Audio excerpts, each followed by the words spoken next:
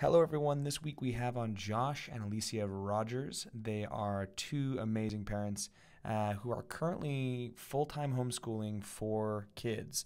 And uh, we kind of beat that subject to death, and then we pretended that we were going to stop talking about it and then talked about it more.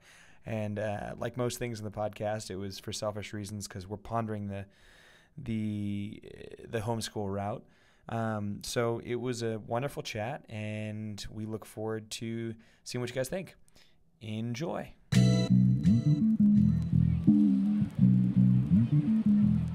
Uh, who are you? Uh, uh, who are we sitting down with? And, and why don't you say your name? And, Uh, Josh Rogers, and, Alicia Rogers. mhm. and you guys have 27 children. uh, give or 20, take. yeah. Give, like give or take. Uh, Yeah. now, how many do you actually have? Four. And uh, sexes, ages. We have Ben, who is 14, and Nolan, who's 12. Charlotte, who will be nine next month, so she's eight, but she'll be nine. And Clara, who's four. Nice. Yeah. And then so when's number five coming along? Like we were talking about that. No, mm-hmm. no, five and six, seven. I, I would have liked to have five, Yeah. but Are you a big fan from a big family? no, I'm just from two, and Oh. we're six years apart. Oh wow. Yeah, She loves her babies. I love babies. Is the babe the babies? You love the babies. I really love the babies. Mm. Your babies are all babies. Most babies, yeah. Hmm. Mostly my babies, but I do love other. Like I love my nieces other and you know nephews and Mhm. stuff. She's like the baby whisperer. Aw. Not to other babies. And We haven't done that thing where we ask them to um, explain what they do or who they are to a kid. Oh, sure, we can do that. Hmm. Uh, I don't know which ones you've listened to. We had a question we used to start with, be like, Mm-hmm. so why don't you say if you were in a group of kids, like at your, you were doing show and tell at your kid's school, and it came to you, and you're supposed Mm-hmm. Mhm. to say who you are and what you do. Uh, what is it you say to the group of kids? So how do you how do you break that down into kids speak or whatever?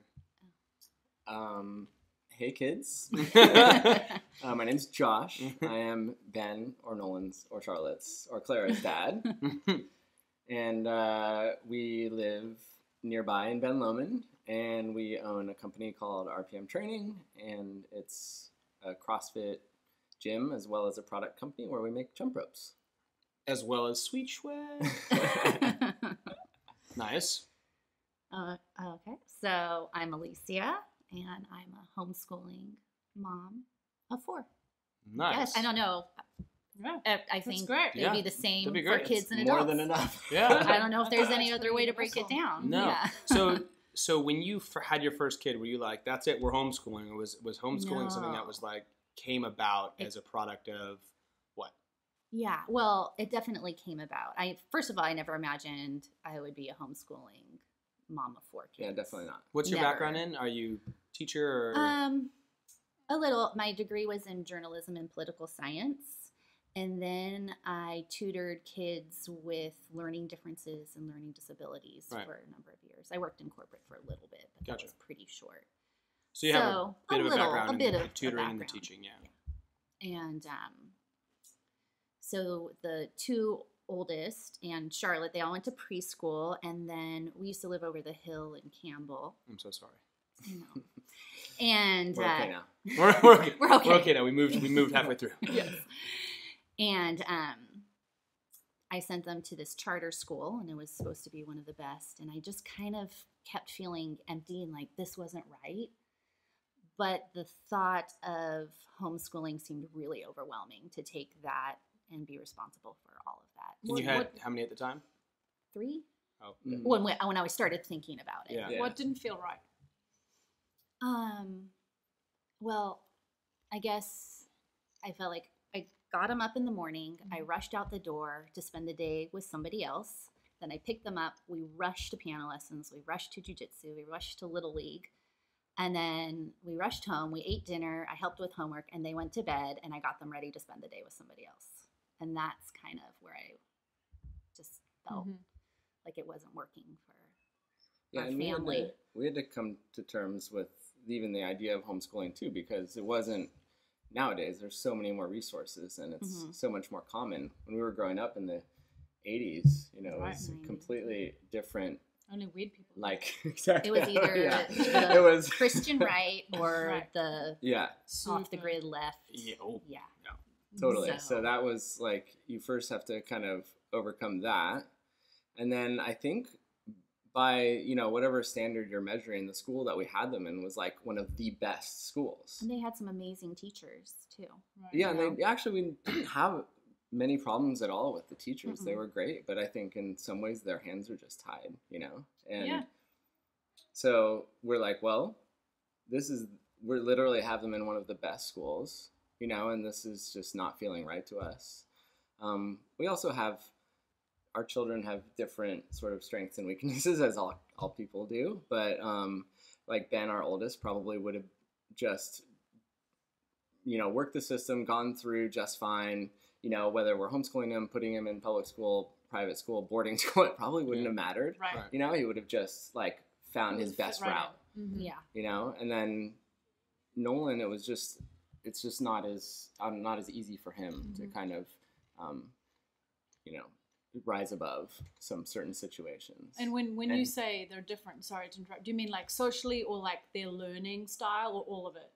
I think all of it Yeah. to some degree, To some degree. but um, both of them are fully capable. Nolan was fully capable, but they both enjoyed um, school. and they didn't yeah and there wasn't a big sort of pushback from them necessarily um, but like nolan is like a behavioral sponge you know and so he would be a completely different person in the during the summertime as compared to during the school year first one. and it's like Yeah. I, and it's like i don't even recognize you and Right. you've been back to school for three days like Yeah. what is what's going on I like what how you said. What did you call them? A Behavioral sponge. sponge. Oh, Yes. because I've been using the term um, Oakes is like really peer oriented, but I Mhm. like Totally. your word I mean, yeah, it just- because that's exactly what it is. Very graphic Totally. behavioral sponge. Yeah, but it makes he it just makes soaked sense. up. Oh yeah, yeah. because he Oakes is the same. Yeah. Whoever he's around, he just he, like morphs into. Yeah. and it would take like a week to detox after Yeah, he would have to detox. and then you would be like, "Oh, hey, what's There up, Nolan?" you're Like, back. for a few There months, and then all of a sudden, like good- two days to- back in school. Good to talk to you. Oh, what's going on? Right.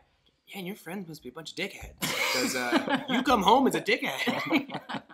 Yeah, when we went on our trip, it, it took like maybe a week, and yeah, Oakes was back to his normal self. yeah. but and that was you know our big reason for like wanting to homeschool too. Exactly the same Mhm. thing you'd had. Just the school's amazing, but Yeah. just that feeling of just like sending him off at the age of five. Mm-hmm. You know, most days of the week, just just the, didn't the thing is that I, feel right. I I feel like there's a certain sense of control that sh- that that could be misinterpreted here. So like Mm-hmm. when I when I think about it, I don't want to control how he is. No. I just want to put him in a situation where he can express himself without having to use somebody else's mannerisms, right? Right. Exactly. And I, I think that that's that's the difference of like in a school system, you it's it's a gamble. Like, are they Mhm. surrounded by people who have good patterns, or are Mhm. they surrounded by people who have crappy patterns? And uh, Exactly. And that was actually true. Ben had like some really nice kids in his class, Yeah. and yeah. Nolan had almost no one to connect with. Right. That was, you know, like Yeah. like-minded, you know, Right. and kind of like And that's the thing. No matter what school you send them to, it's kind of a, a gamble. Like, Mhm. It's a gamble. you know, we were sending them to like yeah, the best private expensive school, but Mhm. it, it doesn't matter No. how much you're paying. Like, No. totally the public school down the road could have a, you know, a class of perfect angels who the kids Right. connect with. Absolutely. Exactly. Well, even you know, we homeschool. Um, even moving to Santa Cruz, you know, there's some heat that the Santa Cruz public schools take, you know. But when we moved here and we started meeting kids that go to the Santa Cruz public schools, I'm like, I wouldn't be any more afraid to send them to school here than I was, you know, in Campbell. So Right. it- Right. it's just, I think it's uh, We just happened to get him in a really good charter school. that's cool. Yeah. It's it's It's kind of interesting. It, it seems like the from my outside perspective looking in, like it seems like a lot of the negative patterns are patterns centered around neglect, like like Mhm. kids who don't get the the same kind of attention that maybe someone who is homeschooler who has a job that allows them to be more time Right. spend more time with them, and it's like they would bring that into the, the relationship with my son, and then my son would build that pattern, and I'm like, hey, Right. wait a second, Yeah. like. uh, I specifically don't neglect you so that that, that, that won't be the case, Right. you know? And I don't know. I don't know if it's just overly harsh because we're in such a unique, amazing scenario to constantly pay attention to our kids. I think so, but it wasn't always like that. You know, when Mhm. before we went away on our trip, we were kind of like where you were at before you homeschooled. Like, I don't think we, we can homeschool. You know, that was that was never really on the, the Right. agenda for us. And Yeah. then we spent five months with each other in each other's pockets, and we were like, oh yeah, Yeah. I can spend this much time with my kids. It's not easy, but no. I think the benefits for us, and like yeah, Pat was saying, like we have that ability to. Right. So you Totally. know, I and we feel- always say it's like part of the reason that we homeschool is bes- because we can, right? Not Right. everybody can, and that's totally understandable. Um, but yeah, so I, I Yeah. think it was also coming down to we, we didn't want to pull the kids out of school against their will either. And so Mhm. because especially Ben and Nolan went to school until they were fourth and second grade. So we really we actually floated the idea for a year and a half or so, right? Right. and we just we wanted them you know to say yes like we want to do this too not that you can always leave those kind of decisions up to your kids but um, we, we were you know I didn't want it to be a negative thing, like you ripped me out of school. right and- and Yeah. then resent. That's Right. it. yeah. I'm gonna be a terrible for the rest of my life. exactly. Um, okay, and so do they? Because in Santa Cruz, there's so many different options for homeschooling, Mhm. and um, Josh and I were talking about it a little bit today. But do they all do Ocean Grove or? We just started Ocean okay, Grove. and do the- you want to just explain exactly what that is for people who don't know? So Ocean Grove is a charter school. So it's a public charter school, but you don't meet in a classroom and you get funds for your children to pay for classes or curriculums, you know, from Blacksmithing approved- with Pat. Yeah. You just have to be approved vendor. can you become a vendor Yeah. please I will make that happen. Yeah. Blacksmithing, knife throwing. I got the whole thing. so you can use those funds for like Charlotte's ballet, um, math tutoring, jujitsu. I mean, nature programs. I really want to put Nolan in a Friday nature program class because that's just kind of my instinct. He needs to be in nature. Yeah. A lot. I think it's re- really good for him. it him. really helps I mean, I think it's good for everyone, but like particularly him. Mhm. And um, yeah. yeah and we came from afe We came from AFE, which is a kind of a hybrid um, homeschool school Right. in the Santa Cruz city schools. Okay. And so they have some classes. They have theater. They have ceramics. They have some sports some sports for middle school and up. So it's kind of a nice little Mhm. hybrid. And it was perfect for us um, at the time because we were new to Santa Cruz and it was just really kind of hard to, you know, find your tribe. so, like, yeah yeah. and, and we met a ton of great families and it Yeah. was it was actually amazing i feel like in the first you know six months of living in santa cruz and going to afe we met more like-minded families than we did in the previous eight years in campbell Oh, that's it really was Yeah. it was actually incredible So why did you switch from that? Oh, Um, we moved to Ben Lomond, and so Uh-huh. the drive kind of got a little harder. And plus, I like the idea of having the funds. Yeah. So Yeah, to yeah. Pay for If if a you lot look of the, you know, we have kids. if you look, yeah, we have okay. Yes. There's funds are necessary. And they have a lot of I'm things Just that they throwing do. that out there. Yeah. Uh, so so if you had to look back on all the homeschooling, was there anything that you did that you do differently, or was there anything that you yeah? Is there anything like looking back on it, the way you transitioned, the way you did the schooling, or is Mm-hmm. there is there like uh something to avoid, or is there something that that you would have maybe done earlier or later? Um, I don't know. I think there's if I could go back in time, I would probably. Hmm. i think we would have homeschooled from the get-go that's yeah, what that's what i would have done from differently get-go. But from like the begin, like when we started homeschooling, what I would have done differently. Yeah, Um. but that I mean that's a good point. I mean you would have just started. yeah, Yeah. i mean knowing I what we know get- now Yeah. i mean I Yeah, how did you know what to do?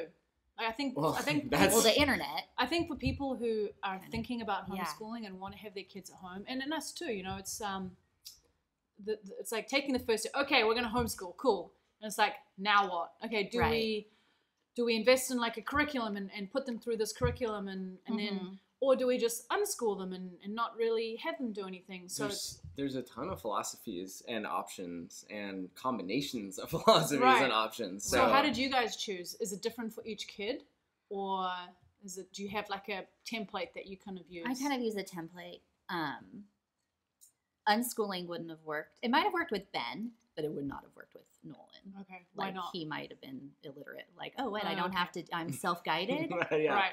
I can I can read when I feel like reading. It sounds, Great. sounds Right. Oakes and him sound similar. right, Because Oakes doesn't want to touch books. He's right. I mean, Are you kidding me? He no, loves he books. loves He books, loves books. but he But doesn't doesn't wanna sit down and do a workbook. Right. And he doesn't want to learn how to read. He can read, Mm-hmm. like he can read, but he doesn't want to like learn how to read books because then we don't read to him. Well, that's our theory.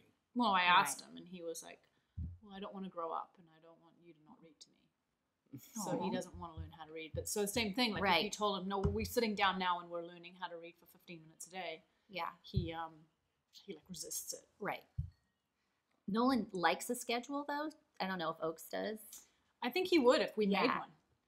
Sometimes he doesn't like me springing things on him. And uh, like he, it throws he him off. never likes things. Yeah. Sometimes, by Anything. sometimes I mean never. Like, yeah. yeah. Like sometimes I'm like, Alicia, I think we just you need to have like every hour like planned out ahead of time, or else because he doesn't transition well a No. lot. So if he thinks that he has a free afternoon to play and do whatever he wants, and then it's like, oh, don't forget you have to read for 30 minutes, or you have to practice banjo no. or whatever. Yeah. It's like, oh, you know. And so, do you do that? Do you have a schedule? Yes, I try. She she writes yeah. she she gives them a little list usually that Yeah. she I have like a little. during the year. We're Yeah, we're in summer mode right now. Right, right. I'm making lists now. Oh, you It was are. getting a Uh, little- It was, it was getting too, out of too. Lord of the Flies. Yeah, it was Oh, getting a little lackadaisical for my taste. Right. So Well, he needs he needs a schedule. Like I remember when he was going to regular school, and I would go in and we'd find out like during math, like he didn't want to do math, and so there were some kids with you know that may have been on the spectrum, the autism spectrum or whatever, that were allowed some you know flexibility in the like, oh, today you don't feel like doing math, it's okay, you can color. And so Nolan's like, well, if he's coloring, I'm gonna go color during math too. And then like, and the teachers, it's hard for them to kind of you know manage that situation if you have a if you have a kid that you know Mhm. pushes on that a little bit to try and see. But they are. yeah. So So, I like- am. so he did more math in his first year of homeschooling than Oh, he yeah. probably did in his entire. Oh wow. I mean, that's nothing, you know. I- I always, don't blame the teachers at all, yeah. be diplomatic about it, but I really don't. it's just you know it's how he learns and Yeah. the kind of Yeah. environment he needs. So can you describe a typical day for me? It's like a, a typical school day. You guys wake up, you have breakfast.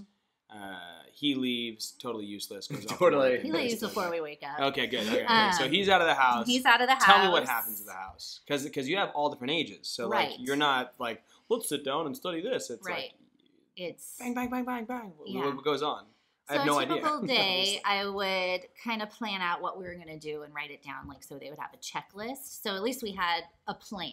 I Mhm. mean, sometimes we don't complete the checklist, but at least we have a goal of what we want to do. And um, and they, it depends on the subject. Sometimes I will need to work with them individually, and then they can go do independent work. Okay. So maybe I'll sit down with Ben and Nolan and we'll study some history and then they'll go and then kind of answer some questions. So while you're studying history with Ben and Nolan, what are the other two doing? So Charlotte will play with Clara. Gotcha. Someone's usually always playing with Clara. Like that has to be how it is. Right. And Clara's youngest age, she had a mother's helper Yes, and I had a mother's helper when she was a baby. Okay. because, Yeah. like you, like I think you're alluding to, if you have a baby or an Right. like a Yeah. 18 month old and trying to talk like homeschool Raise. some older yeah. kids yeah. while that's going on is Right. Let me teach you history. What? Right. yeah. and then maybe when uh, Ben had to do something a little more individual, like intense individual work, maybe he had to write something, a couple paragraphs. I mean, he was older, so Yeah. Then um, maybe Nolan would play with Clara, and Charlotte and I would work on math or reading or whatever the subject is. It's it's hard to describe a typical day. Mhm. Um, It's a fluid situation. it's kind of fluid. Yeah, it just yeah. goes. We have our goal of what we want to cover and the subjects we want to cover. Sometimes we just have to get out of the house because like no one is working well, Mm, right. and Mm. I'm going to react badly, and they're going to react badly, and so maybe we'll just go to the beach or something. Gotcha. And So- then I come home and I go, "So how was your day? Good. We went to the beach." I'm like, you have no idea how lucky you are. yeah. Yeah, and they don't. They don't realize you, how lucky Do you are. realize you're at the beach at one o'clock on a Thursday? Yeah. Right? Like, So, so it sounds like you're pretty darn organized. Is that how Mhm. your psychology works? Is, is Yeah. like it, you set stuff up and you Mhm. execute on plans and Mhm. you move through that. What would it be the case if he was the one in charge of running the homeschool? Would would it would it function? Period. I think it would. I really think it would. He Thank might you. not have the same priorities I have, Right. but I think it would be fine. Okay. Yeah. Alicia has a pretty while we're we're kind of doing a like you know the road less traveled she Mm-hmm. has a pretty also traditional foundation in like schooling and stuff and so she has them do things like copy work and literature you know like some really classic kind of you know teaching techniques and things like that Yeah. um, so that probably wouldn't be my forte if I was homeschooling No. them. And but I know my personality, and it's something that I've had to like learn to develop systems with. And or otherwise, I get easily distracted, and I just want to do the fun thing. And I probably have kids that take after me in Yeah, that I mean- respect as well. So I've learned to you know even operate even at the at work, making sure that I have stuff written down and you know to-do lists and goals and stuff. So that's what I would have to do in order to make it happen. I'd probably really, I'd probably realize a, a month in that like, No one's yeah, done no one's getting anything done. Yeah. So I should Yeah. probably get a little We've more been at the beach every too. day. Yes. For the last three weeks. Yeah. And you guys Man, still can't surfing read. is really Yeah. coming along. Man, the math, They're they're not so blacksmithing and knife throwing like crazy. Yeah. But man, Whittling. cannot read. Yeah. Um, yeah. Okay, so it, I think it does kind of take a bit of a team, right? Like, because you're saying you could do it, you haven't done it yet. I, I don't think I could do it. Like, I don't think if it was my responsibility to homeschool my kids, I could do it.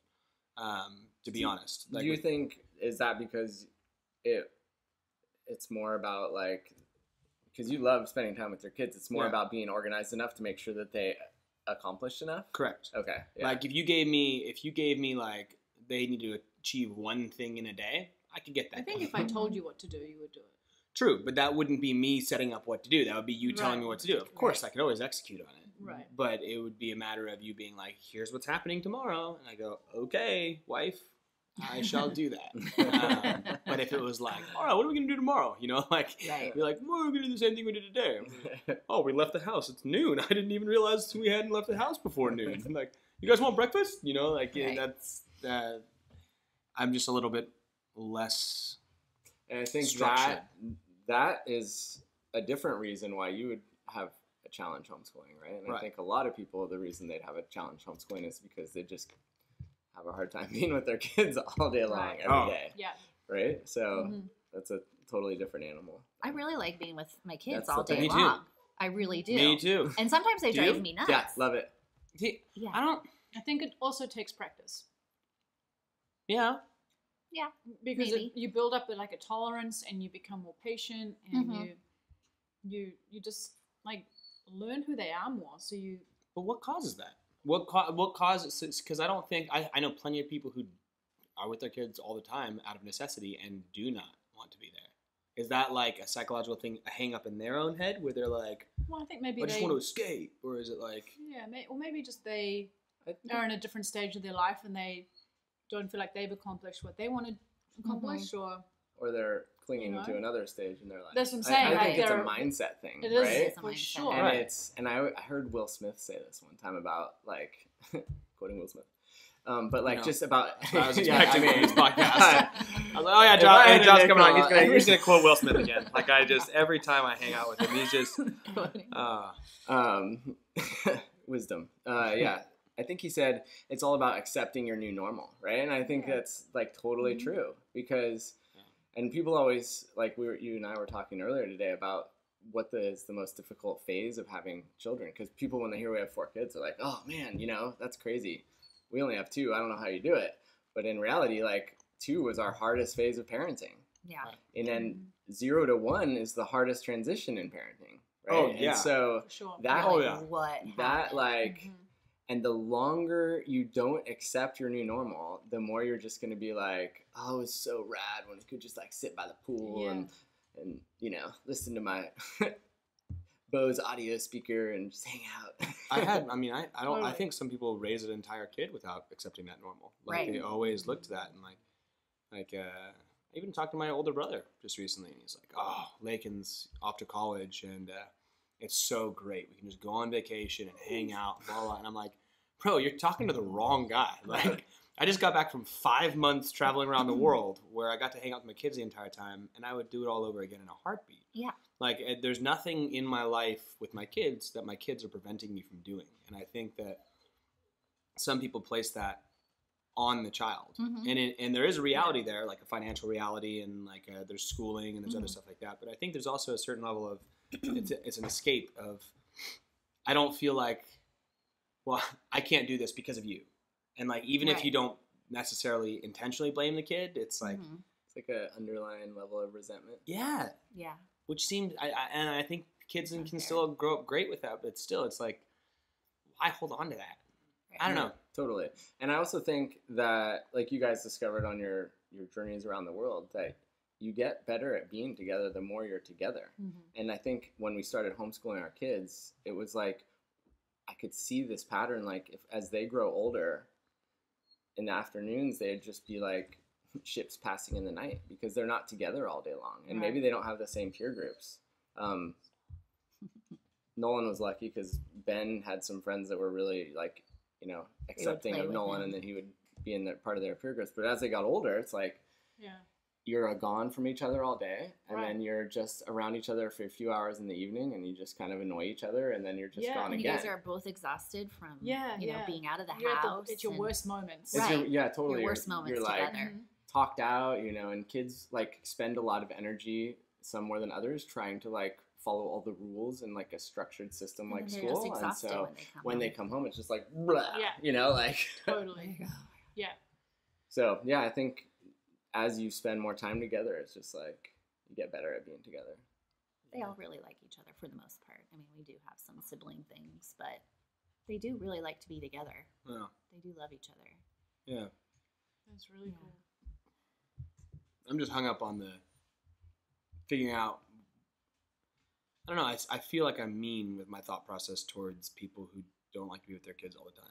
Same Like. We've in my real- head, I'm like, I'm like, fuck you. Like, And you- also remember, we're quite judgmental. Yeah, I understand that, but I, I know. But there's people, there are people out there, like you're saying, it's their reality, and I'm just wondering Mhm. what can get them over that. Well, I guess like so. Imagine if Accepting you the were. new normal. How do we accept the new normal? Yes. Like, Well, I think like you're saying, like financial things could come into play. You know, imagine if you Right. had, I don't know, one parent was the the breadwinner and the other Mhm. parent was staying home with the kids, and that person staying home with the kids didn't want to be staying home with the kids. They wanted to be working, but but they can't because they're not earning enough. You know, Mhm. like financially, it wouldn't make sense. So they're stressed out, and and it might not be that they're accepting where they are in their life at that point. It Right. might be something completely different. Like they want to, I don't know, put their their self to use more. I mean, it's it's yes, most of our life is about our kids, but it's not. We have other stuff going on. totally, Do you know what I mean? And I think some people feel trapped with their kids when they're at home with them all day. They're just totally. And there's like all this other ancillary kind of relationship stuff between the parents that also, you know, how you act to someone isn't necessarily always a result of your interactions with that person. It can be, you know, a carryover from someone Exactly. else. And then I think, like you were saying, like sometimes the family dynamic of who's working and who's watching the kids just kind of like falls into place and it's not like a predetermined or Mhm. like a planned outcome and so and then there's like on both sides maybe there's like a lack of respect for the person who's at home with the kids all day and what they have to go through and then on the other side maybe Yeah. like uh, you don't even know what i'm going through kind of situation Right. and then and then the, that, that like resentment and those Mhm. comparisons set in, and and it might not even be that they don't want to spend time with their kids. It might just be like their life is not great at the moment, and the kids are the catalyst. Yeah, because I, I mean, like, sure, there's people that don't want to spend time with their kids, but I think, I think also people are like, oh, I'm getting away from my kids for the weekend. Like, I think that's also like, I don't know if they really mean that. I think some, I think some people I think for some sure. think some people to do. it, yeah. I think for sure some people mean it. get but- turnt this Friday. It's like, dude, you're you got two kids. What do you mean Right. you're getting turnt this Friday? It's Monday and you're looking forward to Friday. Come Yeah. on. But I think, but again, like, think about that. Like, what are they doing for the rest of the time? just You know what I mean? Like, living a good life. Yeah, I, I think I think that's more than just the fact that they're spending all their time with their kids. Yeah. I think we're very, very lucky. With We're the privileged. life We're we incredibly live. So privileged. it's like we Yeah. have these opinions about people who don't have as good as life as us, and it's it's hard for us to see. Like we love our kids because we're so happy, you know. Well, but, but we we I mean, you guys sound, seem like it too. I, uh, even though I didn't know she actually existed until relatively recently. um, uh, and I've known you for I don't know, like 15 years, 10 years, something like that. Um, but we're really confident, and we've talked a lot about this on our. We had our six-year anniversary, which we thought was our seven-year anniversary. But it turns out it's our six. Little math. It just Feels feels so long. God, it really feels like I know, that. but it, it like we're really confident in our relationship Mhm. that that's not on shaky ground at all Right. and we're relatively comfort comfortable financially you know there's a Mhm. lot of stuff we can fall back on so there's these these giant kind of uh, these giant pieces of our life that are not shaky you know Right. like so when you add the instability of a child into it it's like well that's the child instability like we can fall back on these other Mhm. great things and, and maybe that's the, the stem of it is like people need to work on all components of their life and they might be on shaky ground in like three or four areas like Yeah. i'm not financially secure i don't have a great relationship or my communication is shit with my significant other and now i'm adding this ball of mush to the mix that Right. that needs my attention all the time i Mhm. could see that i ha- i can have sympathy for that um, but i also think you got to get over it and Totally. and and, uh, Yeah. and be Do a parent. right. Like you can you can you can you can crumble down 18 years from now. No, Like, yeah, Yeah. 18 have to- years from now? you have to suck it up. I, Yeah. I think It's, it's your responsibility It's when you have children. yeah. Right. It is. we, we uh, the the last episode we had was a pretty good example of that. Uh, the last episode we had we had um, Casey and Natalie on, and Natalie got pregnant at 15 with twins, um, and she and she was at a, a home for youth when she got this. Like her parents sent her away to it because she was having underage. Uh, She didn't get pregnant there. She No, found out. she was found pregnant. out she was Okay. pregnant there, but her parents had sent her there because they found Sent out away she was with like, drug sexually addicts active. and all these other. She, the, the only thing that she was doing was that she was having sex, and so she was in this there like rehab. She Right. was very out for, of for place. being a, a kid, you Right, know, like right. and being, Wow. and it's like go. So like Yeah. obviously there was there was a not the greatest scenario, and she was like, no, f this. I'm having these kids, and I'm gonna raise these kids, and they're gonna have an amazing life. And it was it was like a, a perfect example of somebody in a not a great situation, Just Just kind of like making the best break of it. being like, that's it. That's it. I'm I'm Mhm. gonna do it, and I'm gonna prove you guys wrong. And like that's the worst case scenario, right? Right. Like not worst case, but like the hardest. Like Yeah. you have no backing, no financial backing, no supportive Totally. family, no like You're a child Education. No. yourself. you're a child Yeah. yourself. You have to like, and it's crazy. And the kids, uh, she has two more kids, but they're they're doing great. Um, yeah, that's so you can do it. You It just- definitely can. yeah, and I think it's hard to sometimes like because we do come from like each of us nuclear families, and you know, so we've had like a good foundation leading up to it, and then we both, I think, we just have the personality where we're, you know, comfortable in our little family unit, and I don't think not everyone has that same personality. Um, neither of us drink actually, so it, there was never that like phase of our life that we feel like we need to get back to where we need to go out and party and stuff. So How long have you been married? We've been married since 01, so since 01, 17 years Wow. almost. years, oh my god, we've been together since 1995. Wow. 95. I wasn't even born in '95. No, I was. I actually thought that might be true Yeah, for a second there. I was like, what? I what? was like so used to So hearing about people born like you know and what's that? How old were you when you guys started dating? I Uh, 19 and 17. Yeah. Wow, that's cool. no, you just turned 20. Where did you meet? Um, our parents kind of set us up. So our brothers are the same funny. age Okay. and they played soccer together. And then I was we actually went to high school together, but Uh-huh. I'm 2 years older than her, so we didn't Mm-mm. hang out in the You're like, I'm not gonna hang out with you. You're two Yeah. years younger Oh, than he me. What have do you? hung out, Yeah. but yeah. Hey, what are you trying um, yeah, so we started getting thrown together, like just at soccer tournaments, and our Mhm. families became friends, and I think our moms actually started plotting. And, they started That's- yeah, sure. which is really funny. Are your parents still that close? Um, they were. My mom passed away, and my Oh. dad's actually passed away as well. Oh, I'm so sorry.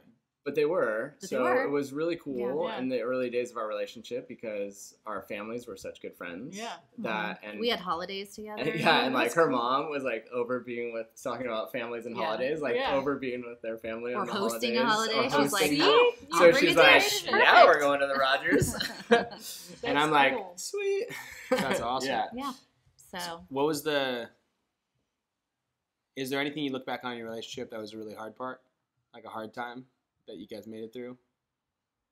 Um, mm, not between us necessarily. Yeah. necessarily. there's like life Life stressors. events. Yeah. Like my mom, you know, had breast cancer and she was sick, and then just me dealing with that, and then Yeah. her passing away. Yeah. Did you have kids? At, No. Okay. So that's always sad. That I feel like, you know, she never met the kids or just mothering without a mother is kind Right. of yeah. hard too.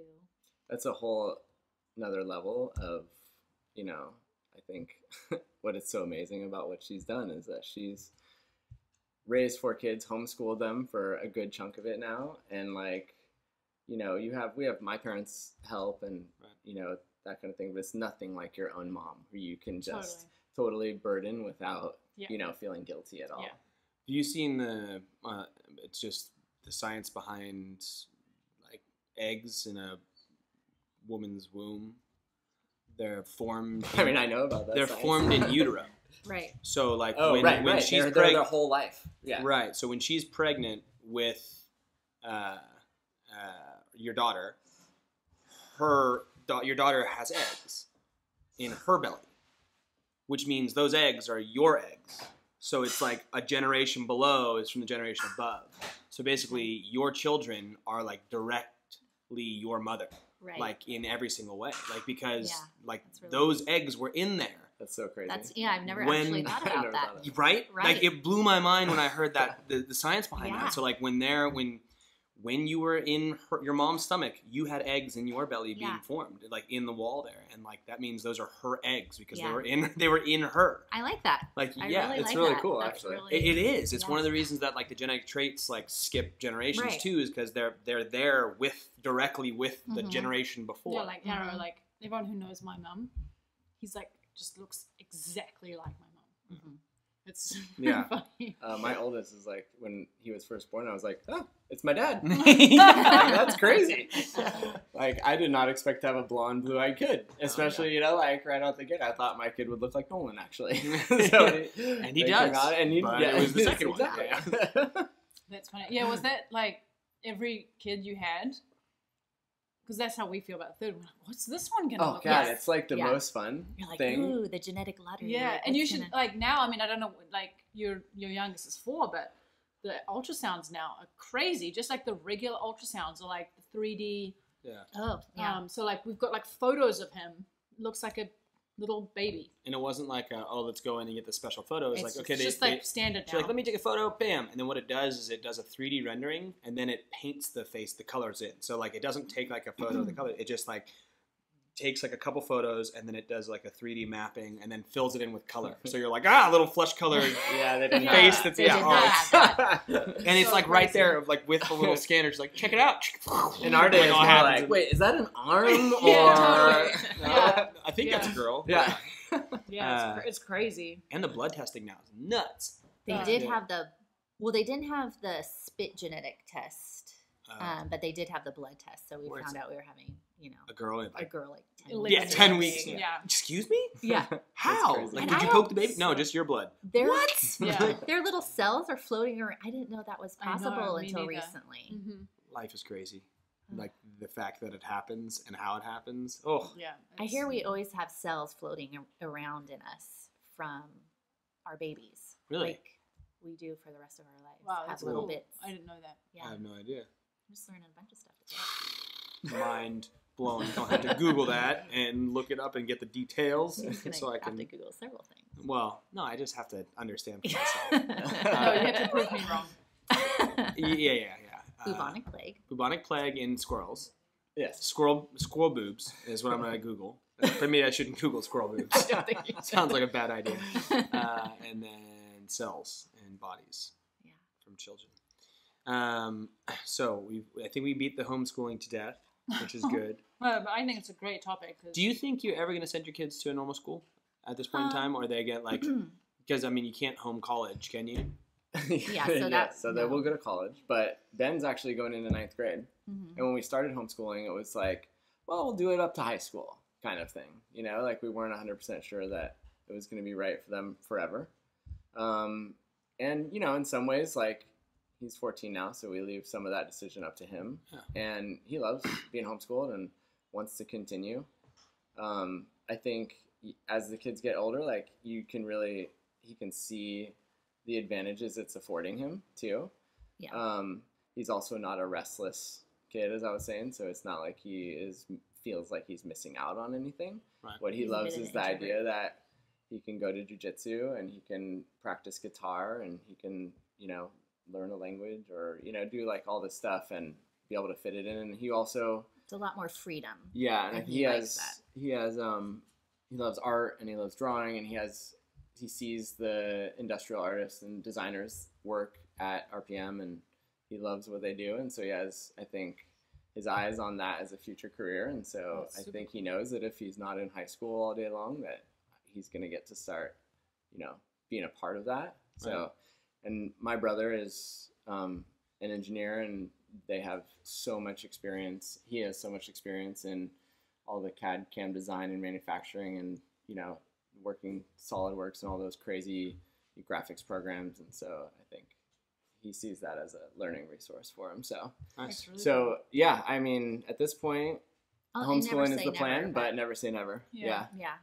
So I was um, listening to a podcast the other day about a woman who homeschooled her four children, Mhm. and she said, correct me if I'm wrong, I don't know if this is because you've got a 14 year old now, and she said that the best part of homeschooling is, like you're saying, the freedom for them to kind of decide their own path. So, Mhm. like, if they're interested in a topic, then they can kind of delve into that themselves. Yeah. And, um, rather than being told, okay, well, now you have to do an hour of geography and Right. you know, like if he really wants to go down the engineering route, then it's completely it. kind of Right. up Totally. to him. And um, like, would you would you say that that's what you guys really enjoy about as well? That there's that freedom Definitely. to I love the freedom of it.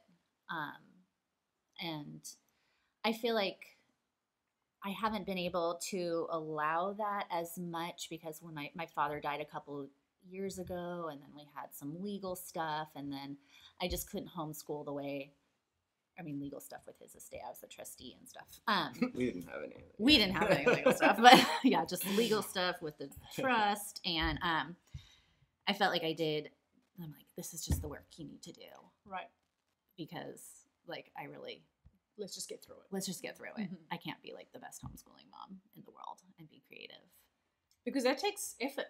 It takes a lot of effort. So this year, I'm actually looking forward to being more creative and um, have the ability to explore. And with the younger ones, More. do you like sense that? Do you like see what they're getting interested in and and kind of try and adopt it? Like Pat's mum's actually really good with doing that with Oakes. Like she'll like see what he's interested in. Oh, Oakes is really interested in like Mhm.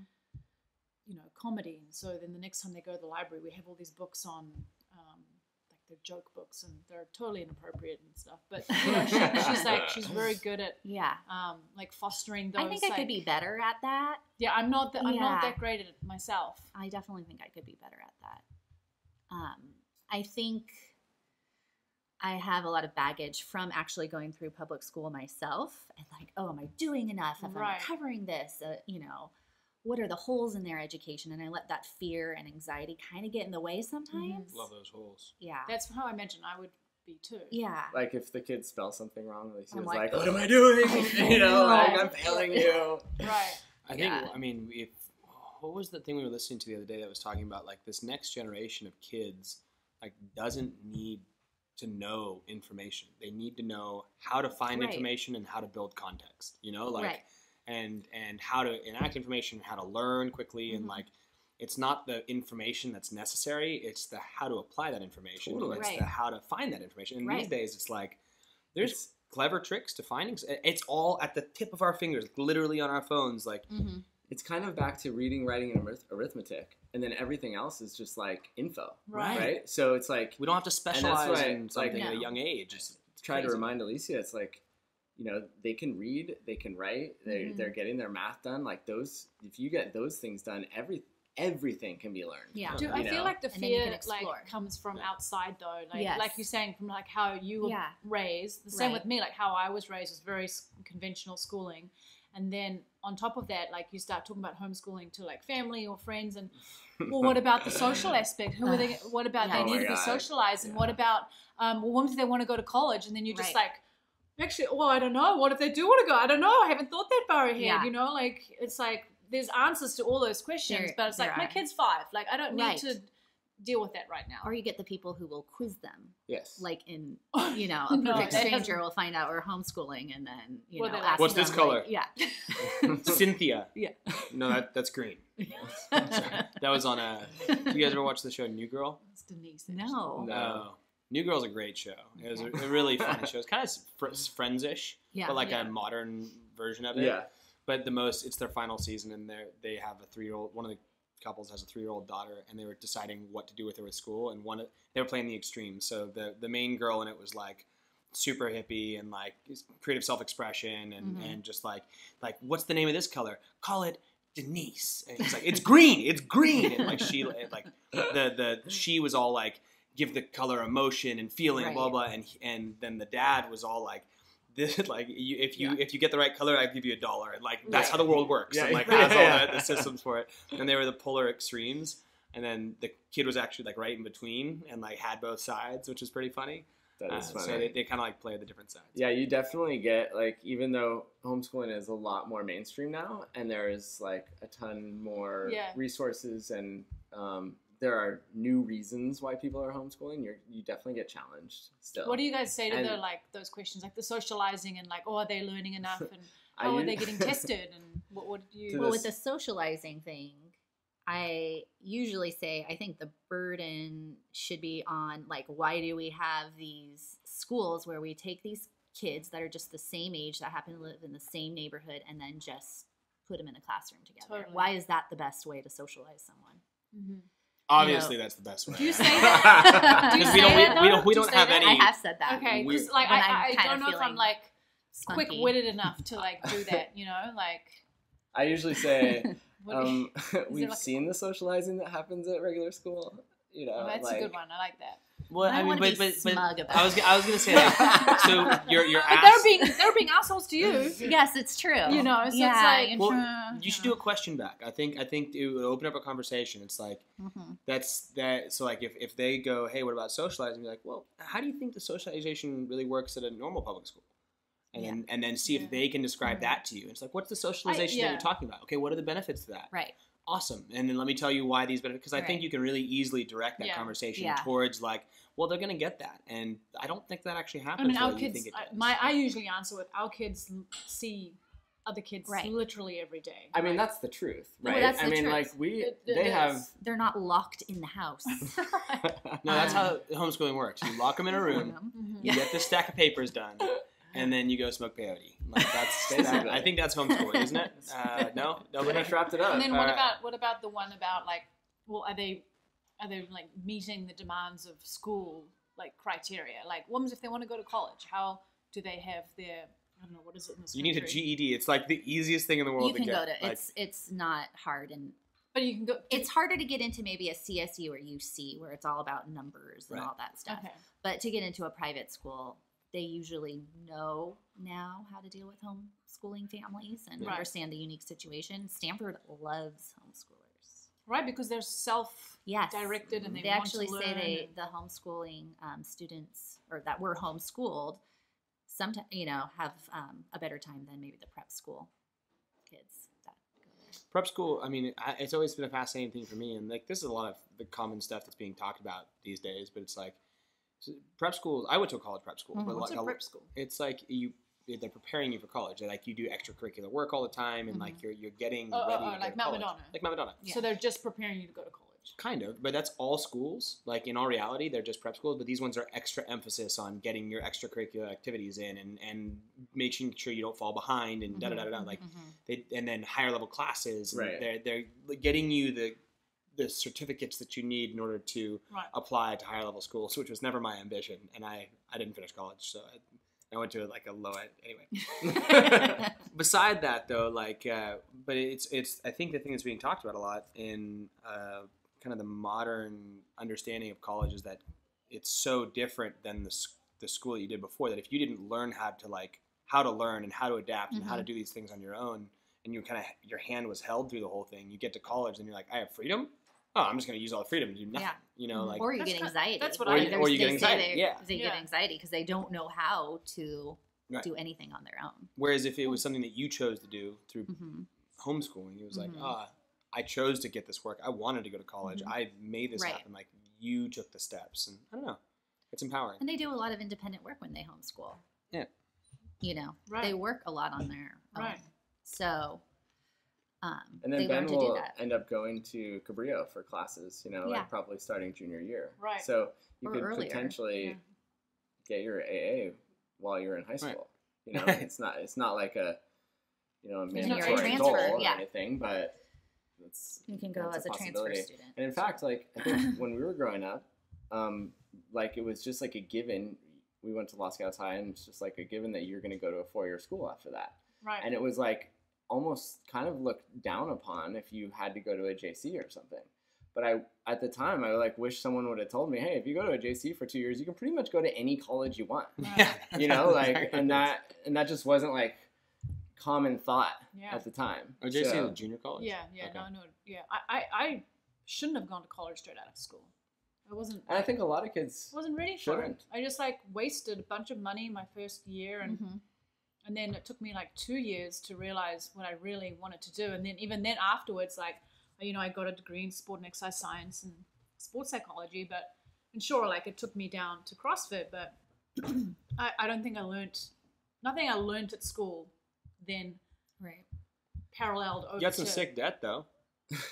some really good debt. Yeah. And my anatomy's pretty good. Like I still remember, you Yeah. know, anatomy. But But you apart- definitely couldn't have picked that up anywhere else. exactly. Couldn't have taken a thirty dollar dollar 'cause my- online course. Especially because my learning style is like, Like- read a book. Like I, you know, like that's how I that's how I learn is by just looking at stuff. Yeah. So where, yeah, did, where did you, go to college? Um, in New Zealand. Okay, Yeah. So I That's, s- I had the same major. oh yeah, Yeah, yeah. nice. So my anatomy was pretty good at one time too. So, I, I actually have been thinking a lot about uh, kind of from the other angle of the homeschooling nuclear family sort of deal, and you know, there's there's a lot of science that backs that we as a humans were tribal people. Like that's Mhm. how we survived. It Right. wasn't the idea of a nuclear family. That only became a reality once we started to be possessive over land and heritage and things along those lines. Mhm. So we only moved into that in like these industrial age where we were able to farm and you could have your family work there and you wouldn't need the help and you could separate yourself out from other people. Um, so uh, there's a much longer history of being surrounded by people and it's like letting your kids be raised by everyone and da da da da. And I feel like for me, I worry a little bit with the fact that with homeschooling, you're isolating out more. Like I'm always, and it's not like a lack of socialization, but like it's, it's I'm I'm building a psychology into my kids of always being around family, and I don't, Right. and I think that that's cool selfishly for myself because I love my kids, but I wonder, I wonder if that's maybe like a. Uh, But I if think if we look at our heritage, like if if we maybe have more psychological expanding expansion to happen when we do get very differing points of view, like maybe there maybe there's a hybrid in between. Like there's a we can have a tribe that ha- offers their other opinions, but the main theme is the parent. I don't know. Yeah, and I think well, we've talked about this before about having like other adult mentors in the children's lives. And I know a lot of Exactly. home- homeschooling people do that. Yeah. Like, um, you know, whether it be that, you know, let's say your kid's interested in music and then they go to an adult music teacher that they spend time with and that Mm-hmm. you respect. And it's not just about teaching them how to play music, it's also about like, or, you know, like let's say Oakes is into throwing knives and rather than you teaching him how to throw knives, he goes to someone else to you know, and I think like having other adults. I'm not worried about the peer thing because I don't, you know, like Mhm. having peer impressions doesn't really make sense to me because kids don't really know what they're doing. But especially Yeah. at this age, um, you know. I But, think it's Well. I think it right? also happens. right. So Just kind of naturally, or just the tribe Yeah. that you build. Yeah. Because It's when they're little, you. they're kind of around you, and Yeah. that's just kind of naturally, I think, how it is. And as they get older, they just, you know, start taking guitar lessons, start doing martial arts and um, dance, and start, you know, developing good relationships with other adults that can Yeah. have, you know, um, and our, you know, we're around friends and stuff. I And think like yeah, I think we are. Our like- friends, our friends, like we have a good, solid group of friends who we trust the the parents, Yeah. like to teach our kids, to discipline our kids. You know, we never Right. interfere if if they're, you know, having like a Yeah. disciplinary moment. I think we're comfortable with that. You know, we're we're not like, oh no no, you can't discipline our kids. That's not right. You know, like I had to discipline a little girl in the hot tub today. had, had no problem disciplining other people's kids. Oh no. Oh my god, it's like I can see it in his face. I'm like, oh, he's about to say something. He's about to. But I'm not like harsh. I just like look at a kid and I just tell them exactly what I, I think they should be doing at the moment. Like this little girl walked up to Arrow while he's in the pool and, and hot tub and he's not good at swimming. right. So he's sitting there and he's holding these two little weights that he had on the side, these little round discs, and he's like do do do do do, and she's like kind of his age, Uh-huh. uh, She was a little older. maybe a little bit older, and she just walks up and grabs him and just starts pulling him. And he's like no, no, and then he just goes and just pulls him out of his hand. And the mom was from me to the mic, like that's how far away the mom was, and just sitting there watching it. And this was just before you got there. Um, and just sitting there watching it, and I was like, "What?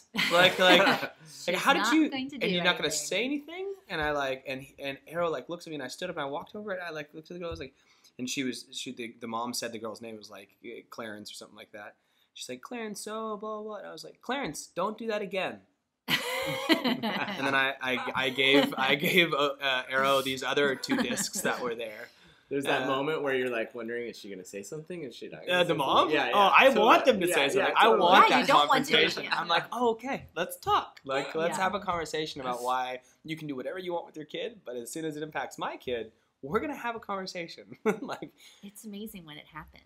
it's fin- it's Mm-hmm. uh Yeah.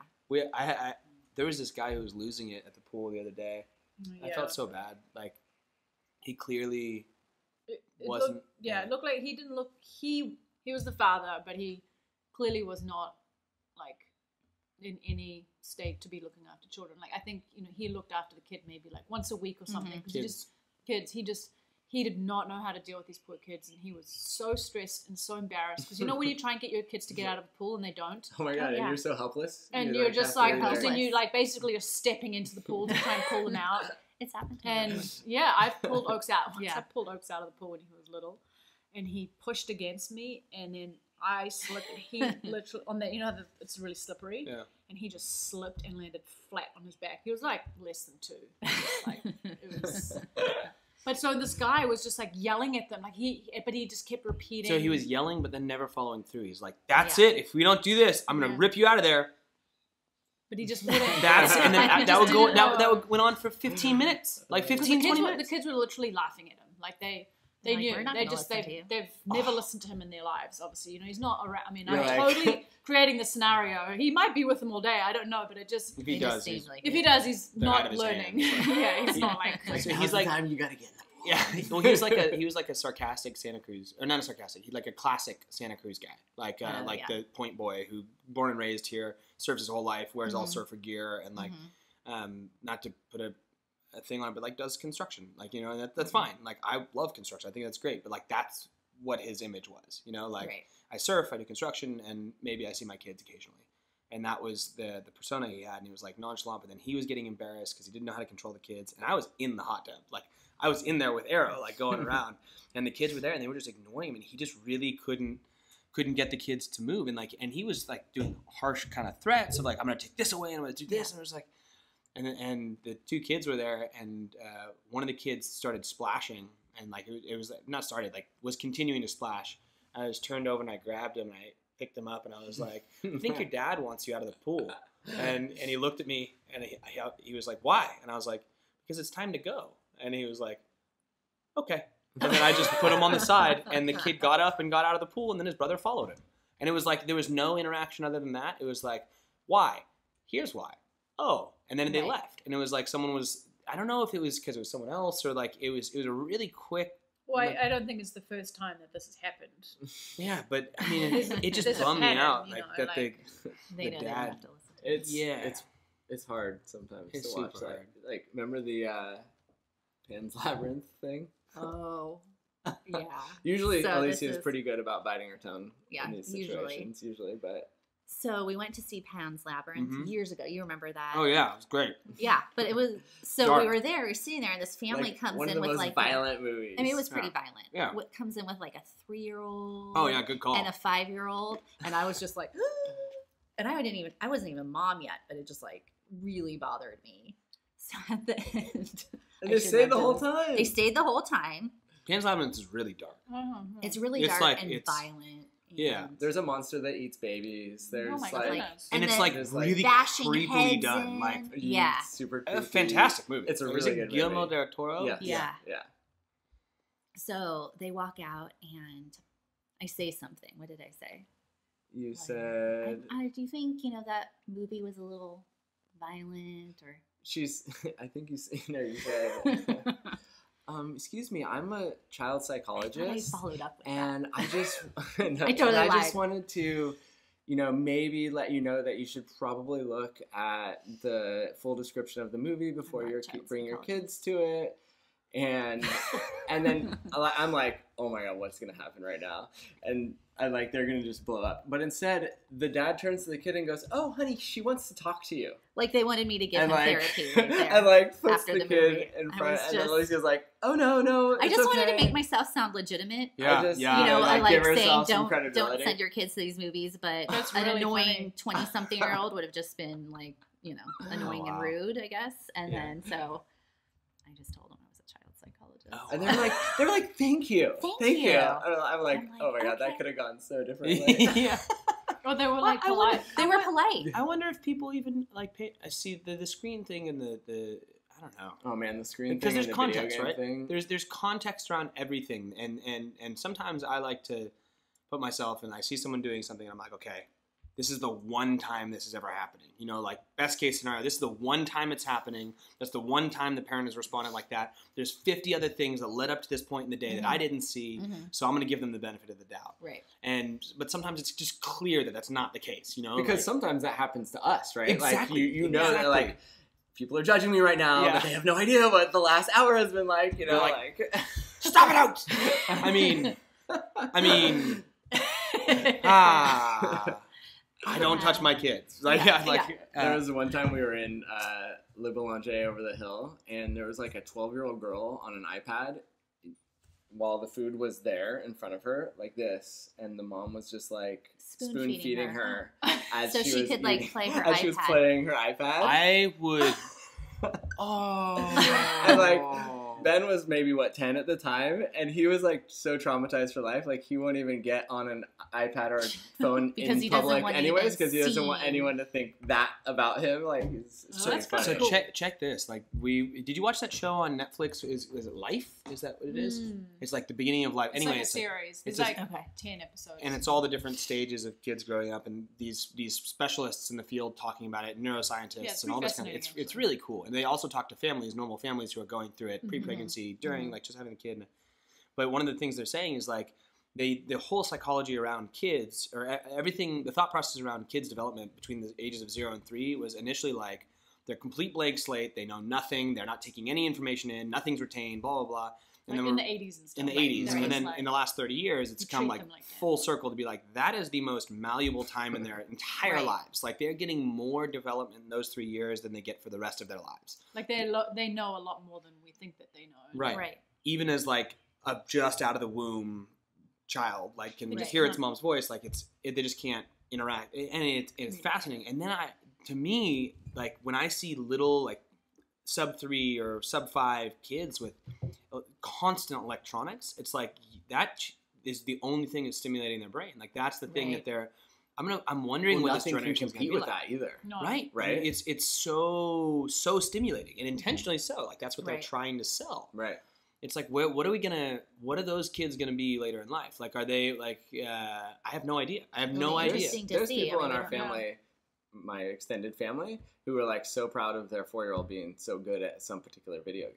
Like Yeah. that Well, is 'cause I like think it's just like think a it's the way forward, totally. like, Them it's like- it's almost like a right, yeah. culture, you know. Like it's just but they can Like- learn see the, to me it's like you can learn that you can like I'm good at video games. I learned that much later in life. Like Right. let my brain develop around human interaction. Let my Right. brain develop around throwing knives and being in the dirt and like the, the things that humans have done for the last I mean, even our millennia. kids, like, they're allowed to watch TV on the weekends. I mean, this is a special Right. occasion, but, and even then, like, Arrow never used to like TV, but because Oakes likes TV, and we do let them watch it on the weekends, he likes, he'll just like randomly, like, TV, TV, like, if he's kind of bored or you can see he's like walking around, we're like, what the? Like, you know, it's time to like maybe chill out on the TV a little bit. And the two year old is like, TV? Should we watch TV? We're like, no. Zero to three. Zero to pretty much three. have Anyone? Anyone? yeah. Like we I have the same rules. use it as a tool. Use it as like a tool in very specific mm-hmm. instances, and like as like a little bit of enjoyment, you know, but not as like a because go-to. I enjoy it, you Of know, course. and Totally. it's sometimes fun to snuggle on the couch and have a family movie night. Yes. Totally. Let's all watch Um, HP. yeah, but and I I love use it. movies, and I'm like super excited about like Yeah. showing my boys when they're old enough, like all the rad movies that we had in the 80s Or and just 90s. now, you like, know, showing Some of them them now. are not so or just showing them right now because when you don't five, care. 'cause Like, Uh, have we started the Lord of the. Rings series? No. Um. Uh, so the uh. So we're gonna we'll, we'll wrap it up. So don't want to hold you all night. It's been awesome. I've But- literally sat here eating this whole thing. And I just yeah. realized that this whole thing is on film. and I'm just like the pregnant lady sitting here eating. Well, I have no excuse, so. uh, you're sitting next to a pregnant lady, so Oh, yeah. uh, Cool. uh, By across from. Yeah. yeah. Um, so our final question that we usually ask is just kind of if you go back right before you had kids, you're pregnant with your first, you're about to have s- him, Sam, Ben. Ben. Ben, Ben. Ben. What- do you have a Sam? Nope, No, Oh, Ben, Sam. That was Sounds our name. actually, Close. we were thinking of naming Nolan. See, I knew that. Sam. Uh, Get out of our brains. Yeah, I'll do what I can. Uh, if if you were gonna go back in time and tell yourself one thing right then as you're about to have the kid, what do you say to yourself? If you could give Um, yourself one piece of advice when you were pregnant. Doesn't need necessarily I- advice. You can just do what you say to yourself. Good job. And I think it's a lesson I still need to learn would be like just not letting uh, fear get in the way of parenting and relationships with, you know, the relationship with them. Because I think sometimes I just let the fear of what other people might think or, you know, I jump forward to like translating into like, what if they're like that when they're an adult and they're going to be a complete Oh man, we I do that all the time. And like I let that kind of, uh, That You was, know, that was actually how you, like, our. Yeah. part of our toughest But it's time not. parenting. Mhm. Like Yeah. our, you know, like one in three year olds phase. oh man, Like yeah. Nolan has had a way with words since a very, very young age, and he's a very good zinger inflictor. We call him the very, zinger inflictor. very young age as well. Like, Yeah. So he would just say things that like a three year old shouldn't know. You like know? he Oakes. watches Little Bear, like, and he's coming up. He'd be like, Oakes. I'm gonna poop on you and then Oh, yeah. cut off your head. You Oh, know, yeah. it's like, You were just Oh, like, yeah. Oh, how does he know know. that that's Yeah. like the worst first thing you Exactly. could do to a Is person? gonna grow up and Yeah. Oh, no, Oakes is exactly the. I'm gonna kill that person. Whoa. yeah. Maybe we should stop watching. Alicia is like, hey, we're gonna go. Let's let's go pee. I will pee in your eye. Yeah, Oh, yeah, yeah. yeah, straight up. We're talking about our son. Right now. So she's like, are we raising a serial killer? Yeah. You know, it's, It's- pretty funny. yeah. I'm glad. Um, are you through it? Is it like? Oh, pretty much. Okay, okay. So we've Yeah. got this hope for Oakes. He's not going to turn into a. Oh no, he's a wonderful, Okay. wonderful child. Yeah. I mean, he gives me. If I had just had Ben, I would be insufferable and smug and be like, "Oh, it's just all about consistency," you know. Yeah, right. so Right. easy. It's so easy. And then Nolan came along, and he was just. Different. You just Different. realize like they They're come out just, of the womb they, that way. they just are born with different personalities, and you can't do really anything about it. And my goal is just to take that personality of that individual and make them the best version of themselves. Right. And not try to change them because you can't, Mm-hmm. but just try to make them the best version of themselves. Um, So you had the same feeling. What was no? What was, No, what was your? no, Uh, what's I- yours? you go back and tell yourself. like, he doesn't have the yeah, I don't have those kind of fears or anything, but I think. Neither do I. I think it would Mom thing. maybe be have fewer assumptions around like scheduling and stuff like that because I think what people always tell you is like they warn you about sleep deprivation when really that was like not the hardest thing, you know, and like it was more about your baby is affected in ways that you just can't comprehend as an adult, right? And so like overstimulation and it's actually true that they need to eat kind of early and go to bed kind of early. And oh and alicia would say well if they I, you know you think oh they stay up later they're just going to sleep in. Well that's not really the case you know? And so like kind of these assumptions like i had to learn along the way but it would have been cool to like to know like hey those things are real and you know don't fight it Don't fight it. Right. We're gonna be those cool parents who keep our kid up late. Yeah. yeah and Famous you know last words and we're the friends of oldest in our not only in our families but in our peer groups one of the first to have kids Mm-hmm. and so we just like kind of like had to mush through the you know forge our way What are we doing?